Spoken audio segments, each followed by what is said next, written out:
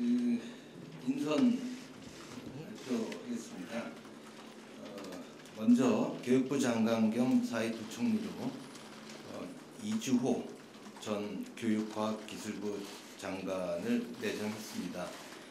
이주호 후보자는 한국개발연구원 국제정책대학원 교수 또 아시아교육협회 초대 이사장으로 재임 중이며 제17대 국회의원과 또 대통령실 교육과학 문화수석 비서관 또 교육과학기술부 1차관 또 장관까지 역임을 하시는 등 어, 교육 현장과 정책에 어, 두루 정통한 교육 전문가입니다.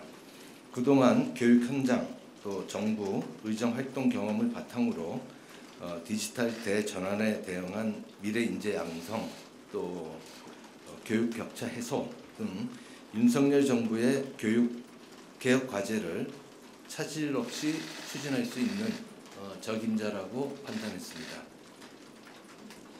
다음 경제사회노동위원회 위원장을 임명하고자 합니다. 어, 김문수 전 경기도지사를 임명고자 합니다.